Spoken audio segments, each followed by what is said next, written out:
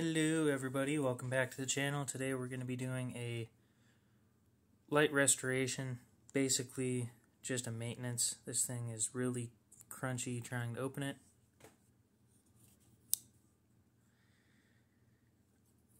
It is fairly old. It is a Craftsman from after they said Craftsman Sears, but before they moved everything to China. This one was made in the US at some point in time.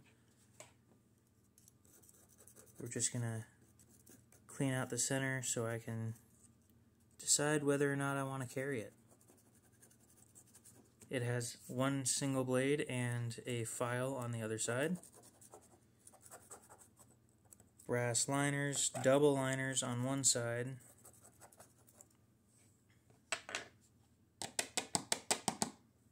There we go. Go ahead and turn the flashlight on and we'll see if there's much else I want to do.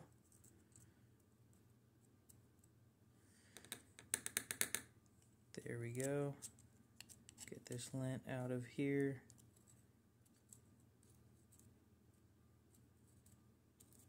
Now I'm not going to be doing anything with the insides of the liners yet. I may do that later on, but not today. Now we will take some oil to it. Here we go.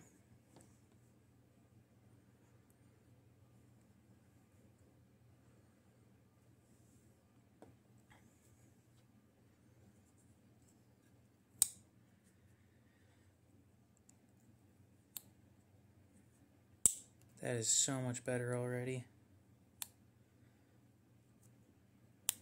Now this side wasn't really bad.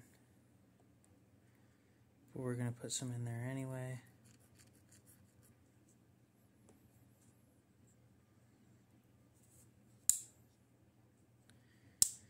Now an interesting thing about this knife is they put double liners on one side. Right here it's double sided and there's just one on this side.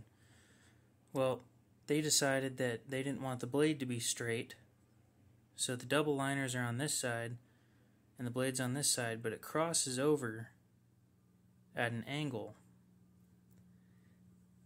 when they could have decided to eh. Yeah I guess that works out. It works out fine. It's still perfectly smooth. Neither of the pieces touch each other